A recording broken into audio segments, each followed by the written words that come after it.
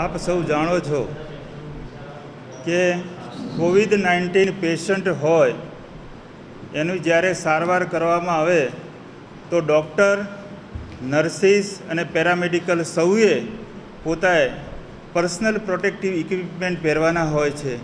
કારણ કે એ ચેપ એને ન લાગી જાય.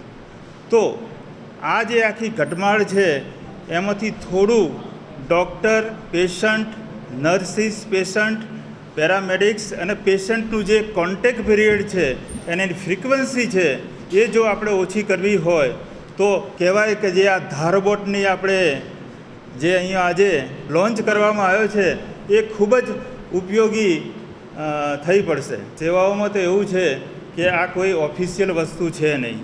પરંતુ પાંચ એક દિવસ પહેલાં પિનાંક ઠક્કર કે જે ઓમ ઇન્ફોકોમ અને દેવમ એન્જિનિયરિંગના શ્રી અનિલભાઈ પટેલ, એમની સાથે અમારા એક ફેકલ્ટીઝ એમને લઈને મારી પાસે આવેલા અને અમે લોકોએ ડિસ્કશન કર્યું. પહેલી નજરે તો રોબોટનું નામ પડ્યું, એટલે મારા વિચાર મારા મનમાં એવા વિચારો આવ્યા કે કદાચ લાખો રૂપિયામાં બનતો રોબોટ હશે.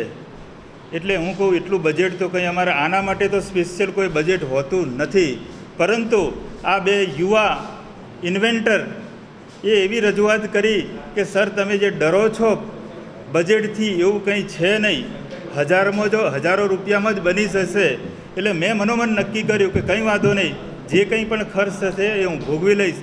પરંતુ જો એક આવો સફળ પ્રયોગ થઈ શકતો હોય, તો આવા કોઈ પણ ઇન્ફેક્શિયસ ડિસીઝની અંદર ડૉક્ટરને કે પેરામેડિકલ્સ નર્સિસને જ્યારે પેશન્ટની સારવાર કરવા જવું પડતું હોય, તો એના મનમાં કોઈ ડર રહે નહીં. અને દૂર બેઠા મોબાઈલ એક એપ્લિકેશનથી જ આ આ રોબોટ, ધારબોટ, એને દવા આપી શકશે, એને પાણી આપી શકશે, એને જમવાનું આપી શકશે, એની સાથે ટોક કરી શકશે, એની સાથે એન્ટરટેન પણ કરી શકશે અને દૂર બેઠા બેઠા, કદાચ હું માનું છું કે દસ કિલોમીટર દૂર બેઠા બેઠા ઇન્ટરનેટથી કોઈ પણ એડમિનિસ્ટ્રેટિવ એ આખા આઇસોલેશન વોર્ડને જોવું હશે, એનું ઓબ્ઝર્વેશન કરવું હશે, એનું મોનિટર કરવું હશે તો આરામથી કરી શકશે અને પેશન્ટ સાથે વાત પણ કરી શકશે.